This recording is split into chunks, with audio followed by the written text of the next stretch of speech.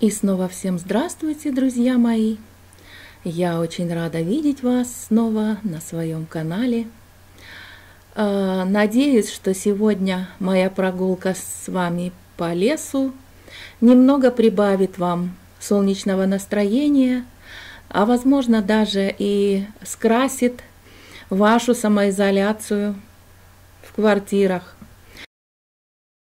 У меня многие спрашивают о моей дочери – у меня дочка одна, и я бы хотела сегодня немного о ней рассказать. Мне почему-то на ум сразу приходит песня Александра Вертинского, помните? Доченьки, доченьки, доченьки мои, где же вы, мои ноченьки, ох, где же соловьи? Ну, у него было две доченьки, а у меня одна – Итак, все по порядку, друзья.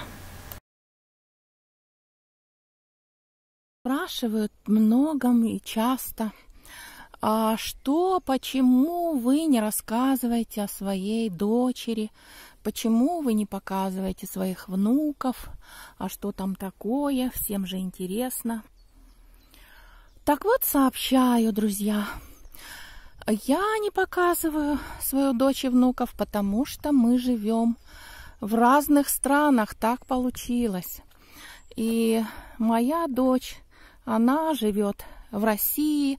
Кто-то тоже тут мне сказал, как вы же, как же вы, почему же вы, что это такое, что вы э, не свою семью сюда не забрали. Ну вот вы знаете, друзья, я не зачитываю вопросы, конечно, но иногда вот эти вопросы такие специфические, они, наверное, требуют разъяснения. Поэтому я хочу сказать, что я-то уехала сюда, а, в Англию, когда мне было 54 года, повторяю, это было 2010 год, и, естественно, уже моя дочь, она была взрослая, Мало того, что она была взрослая, она уже имела семью. Почему-то существует мнение, что там на Западе жизнь лучше, за горизонтом. Да? И мужчины там тоже лучше, вот в Европе, в Америке, в Канаде, чем здесь наши. Я эту позицию никогда не разделяла, и даже когда сама знакомилась по интернету с обоими своими мужьями, я знакомилась именно в России специально. У меня мама много лет назад вышла замуж за англичанина, уехала туда, и меня все время подстрекала тоже, но нет, я не хотела никак этого. И, конечно же, понимаете, я мечтала, чтобы, может быть, когда-нибудь Мои внуки учились в Кембридже, в Оксфорде, в лучших университетах здесь. И, может быть, даже это был один из стимулов, которые меня подвигли на то, что я вот, вот так вот переехала без оглядки, бросив все, оставив работу. Конечно же, это был не главный стимул. А, и у меня была мотивация отъезда совсем другая, как вы знаете я хотела найти э, друга, я хотела найти как-то более для себя комфортную, интересную жизнь, чтобы кто-то был рядом. А когда я развелась, э, то, понимаете, я дальше воспитывала свою дочь одна. И это у меня была единственная любимая доченька. Но тогда нагрянули эти страшные 90-е годы. Вот я э, очень удачно, так в кавычках, развелась. Я развелась в 89 году, а в 90-м, 91-м все рухнуло. Я вообще потеряла работу свою в проектном институте, в котором 15 лет до этого работала. И поэтому и ребенку у меня тогда на тот момент было всего 6 лет. То есть, э, ну, в общем, так сказать, очень сложно, как вы понимаете, для женщины. Какая бы она сильная ни была, можно надорваться. Но об этом, наверное, Если кому-то интересно более подробно, можно посмотреть. Вот я скину наверху. Сейчас вам всплывет ссылочка справа вверху. Подробно об этом. Так э, вот что я хочу сказать. Я всегда старалась для своей любимой доченьки, э, Дашеньки, что бы ей было как говорится, более комфортно жить. Но, наверное, все равно, понимаете, нас никто никогда не учил психологии отношений. Мы сами барахтались. А потом еще, когда э, на первый план всплывает вопрос просто, как заработать деньги, чтобы просто хватило на хлеб, то тут уже, понимаете ли, не до каких-то там, я не знаю, э, других проблем. Ну, по крайней мере, вот у меня я как загнанная лошадь рвалась, и я пыталась, бегала и туда, и сюда. Как вы знаете, я э, заочно закончила финансовый университет московский в ВЗФИ, и это тоже было очень сложно. Я параллельно ездила тогда в Лужники из Архангельска закупала там какие-то вещи, чтобы их продавать. И потом я устроилась на работу, там копейки платили, но тем не менее для меня вообще было, как говорится, невозможно себе представить, чтобы я вот так вот вдруг оказалась вообще без работы. То есть я хваталась за любую работу. Я не сидела никогда без работы больше месяца.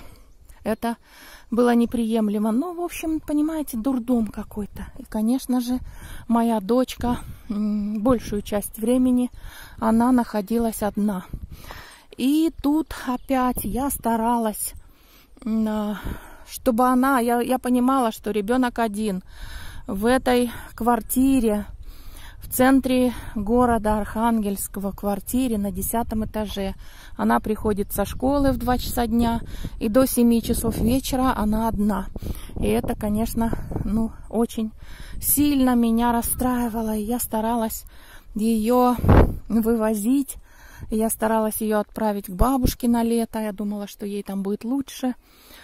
Но вот, понимаете, оказалось, что э, дочка моя она, когда выросла, она предъявила мне очень много претензий, что я мало уделяла ей внимания, что я ее отправляла, чтобы заниматься собой, как она это себе воспринимала. Ну, то есть, понимаете, как-то здесь у нас с ней очень сильно э, пошли разногласия. Тут, знаете, сказать, что э, кто-то прав, кто-то виноват.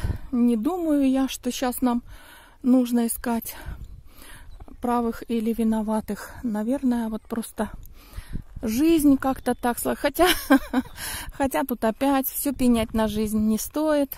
Все равно. Ну, наверное, и у меня были какие-то косяки. Наверное, у меня были какие-то о грехе на самом деле в воспитании. Может быть, на самом деле я иногда не уделяла должного внимания своей дочери, но она у меня всегда была на первом месте в моей жизни.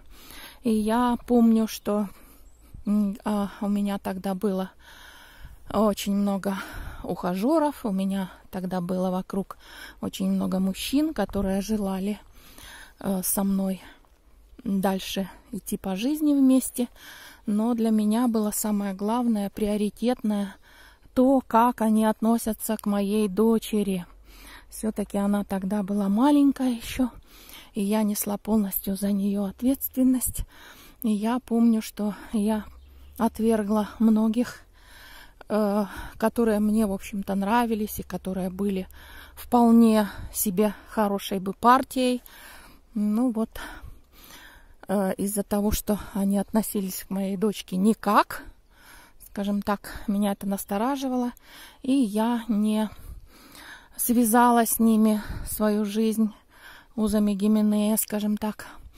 А, хотя сейчас я вот думаю опять, не стоило мне этого делать, если надо было только обращать внимание на то, как человек конкретно относится ко мне. Но тогда, понимаете, я думала по-другому. И когда я уже осталась одна, тогда я поняла, что я, наверное, конечно, здесь наделала ошибок. Кто его знает, опять же, понимаете, если бы да кабы и знал бы, где упасть. Но, опять же, возвращаюсь к своей любимой дочке. Я вложила все равно в нее по максимуму то, что могла. Э, вот в такой вот нашей тогда сложной и сумбурной жизни. Она у меня закончила э, педагогический институт. Она на сегодняшний день, ну, это даже, в общем-то, университет считается. И она у меня очень хорошо знает русский язык. И на сегодняшний день дочка у меня очень далеко, как говорится, продвинулась. Она просто молодец. И я горжусь ею. Интернет, как известно, это поле абсолютно для любых возможностей, и знакомство здесь не исключение. Я считаю, что знакомиться в сети намного эффективнее, чем в реальной жизни, тем более сейчас. Сама я с обоими своими супругами познакомилась именно в интернете. С первым это было в 2003 году. Тогда еще не были так развиты все эти сайты знакомств. Они висели простенькие и э, единичные, будем так говорить. И мы с супругом жили оба в Архангельске. Со вторым мужем я тоже познакомилась в интернете.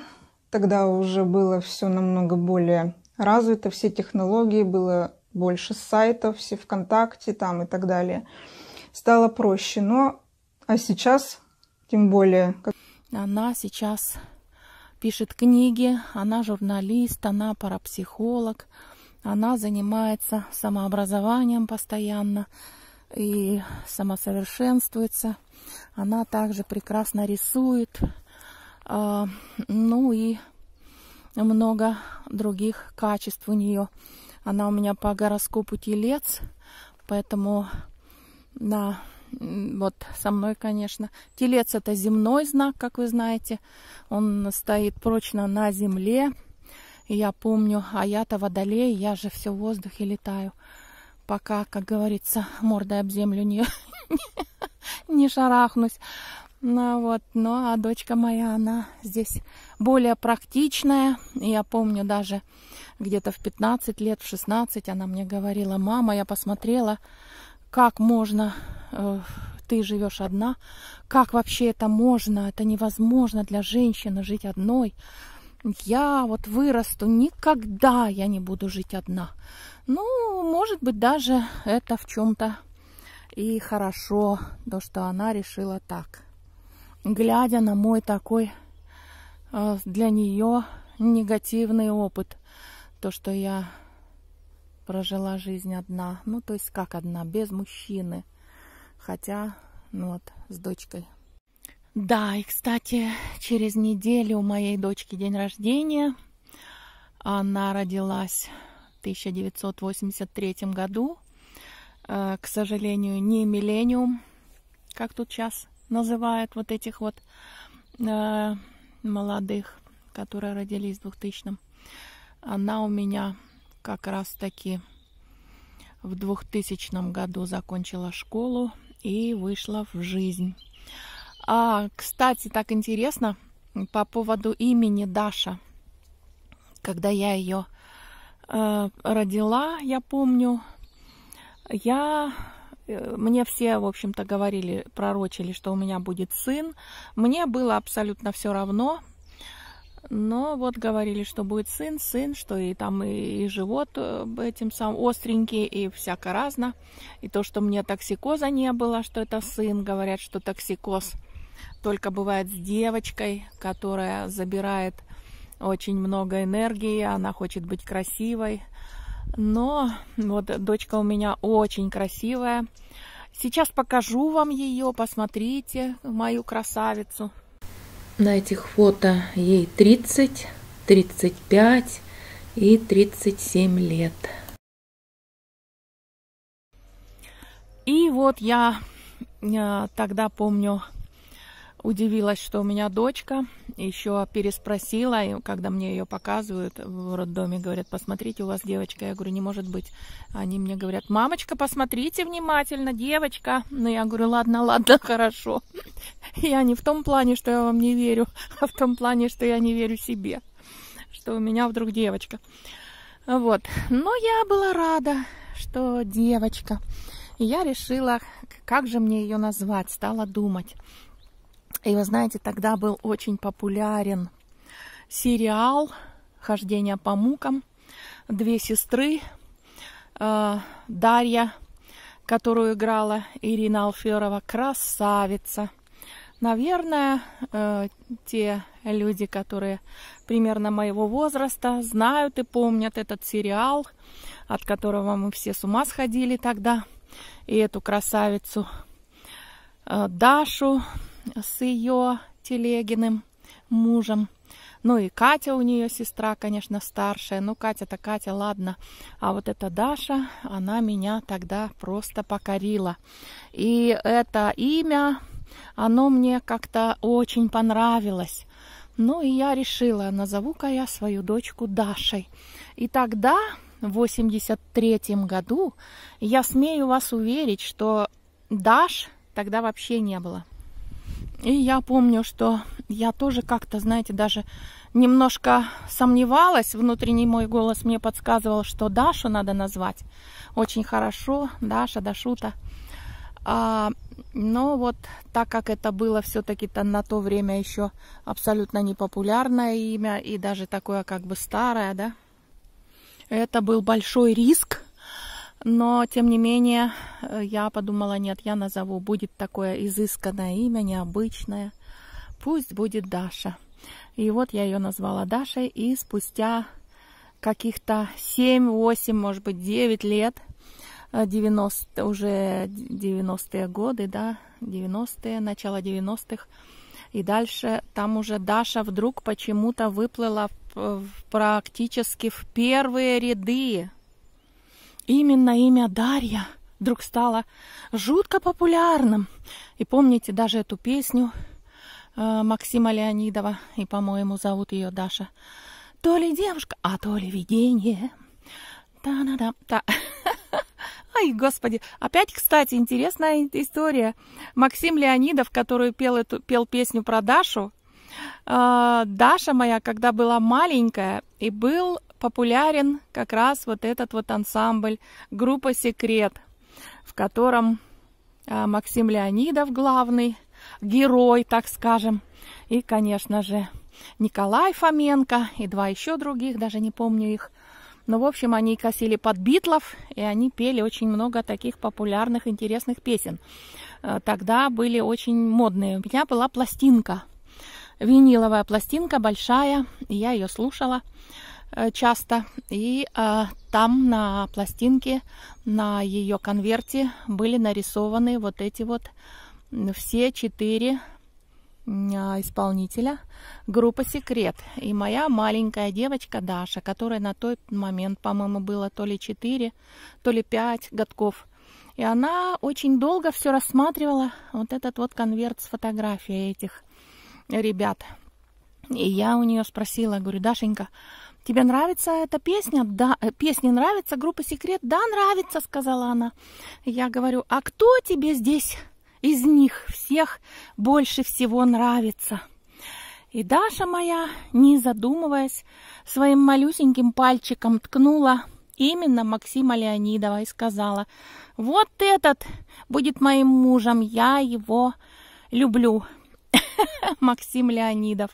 Конечно же, красавец тогда он был. Вот. Ну и вот так вот странным образом повернулась история, что потом Максим Леонидов спел песню «Даша». Я оглянулся посмотреть, не оглянулась ли она. Что... Ну, а тогда, в 83 третьем году, когда я назвала свою дочку Даша, э, мой муж, ему было тогда все равно, и когда я все-таки немножко сомневалась, когда он пришел, я у него спросила, Женя, как ты думаешь, вот мы назовем нашу дочку Дашей? А он сказал, да без проблем, тебе нравится, а мне все равно, Даша так Даша.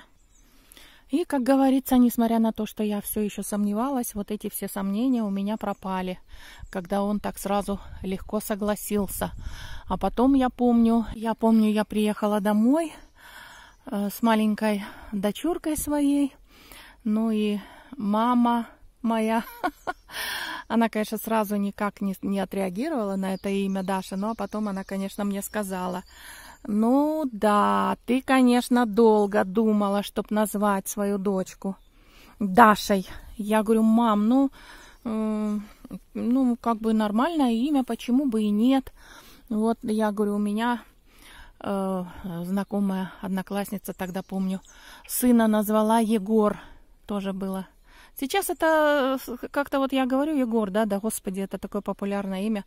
А тогда, в 83 году, это было просто, знаете, как гром среди ясного неба. Многие даже, наверное, сейчас не понимают. И я, чтобы себя поддержать, немножко и маму успокоить, говорю, вот у меня знакомая моя одноклассница назвала сына Егора. Она мне сказала, да уж, ну где Егор, там и Даша, сказала мама. Я подумала, ну да, так вот так и вышло. А бабушка моя э, на тот момент, я же говорю, была еще жива. Она у меня 900 -го года рождения. Очень легко считается ее возраст. Э, в 83 году ей было 83. Ну и она, помню, сказала, Галя, как же ты могла так девочку назвать? Ну зачем же? Это же имя которое у нас носили вот кухарки. Дашка, Фроська, э, как она там еще сказала, Дунька. Что ж ты так, зачем же? Ну вот, я еще больше, конечно, расстроилась. А потом оказалось, что пошло это имя наверх, наверх, наверх. И потом оказалось, что и мама моя полюбила страшно это имя.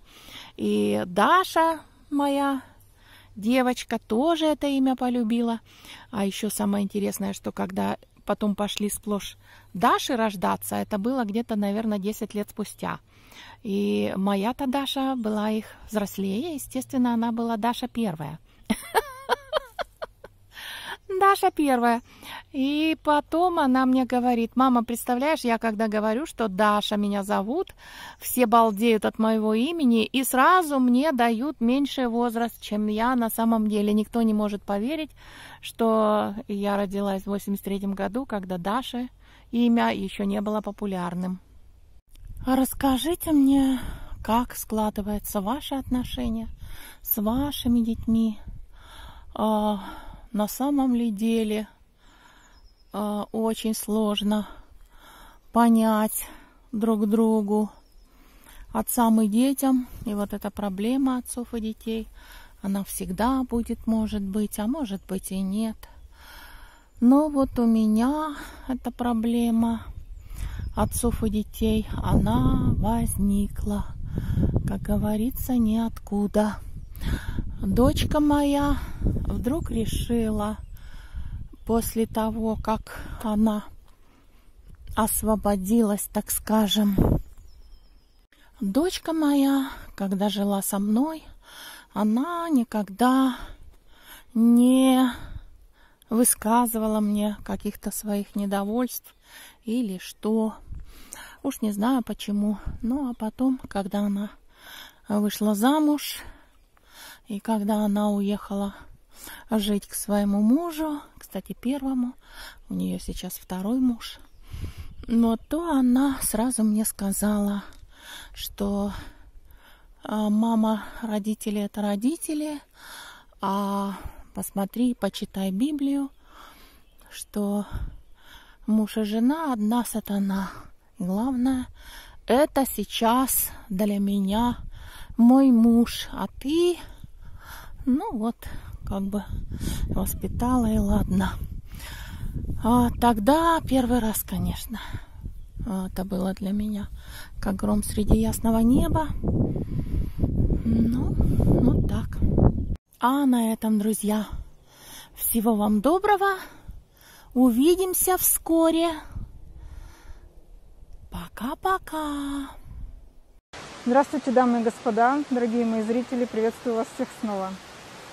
Вы знаете, некоторые люди эм, задают мне такой вопрос, а как научиться полюбить себя? Вообще, что означает любовь к себе?